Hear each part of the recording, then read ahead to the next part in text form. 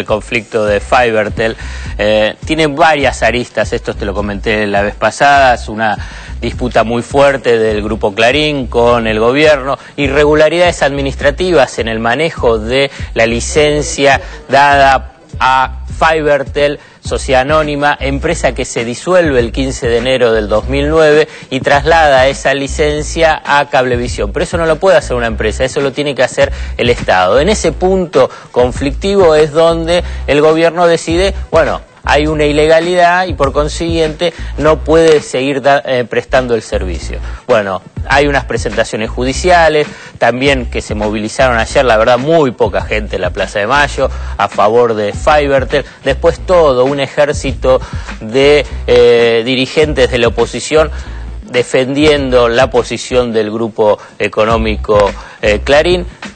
Yo simplemente quiero decir un aspecto que se está reiterando una y otra vez y también vinculado con el tema de papel prensa, que aparece eh, el punto esencial y que levanta la bandera a los dirigentes de la oposición y obviamente los diarios La Nación y Clarín, que está en juego la libertad de expresión. Y la verdad que no. Eso yo no lo entendí. ¿Me puedes explicar? No, pero yo escuché libertad de prensa, que te lo quería preguntar a eso. ¿Por qué se está uniendo eh, la libertad de prensa con una cuestión empresarial que venció una, una, mm, licencia. Vos diste en el clavo, es una cuestión empresarial, es un grupo económico y el Estado, y en eso hay un litigio. En, última instancia será la justicia que lo puede llegar a definir a favor de uno o de otro, pero acá no está en juego ni la libertad de prensa ni la libertad de expresión, porque cada uno, como se puede observar tanto en los diarios como en las radios, todos hablan lo que quieren. O sea, y además hace muy poco salió una ley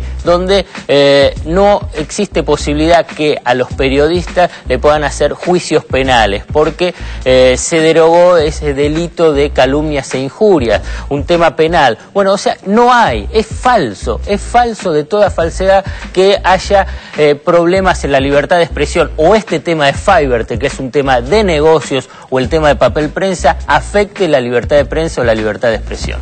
Muy bien, hoy a la tarde decías en tu enumeración, en tu punteo más temprano, eh, ¿qué va a pasar con respecto al tema papel prensa, que me parece que es importante? A las 18.30 en, eh, en la Casa Rosada se va a presentar el informe de la verdad, elaborado por...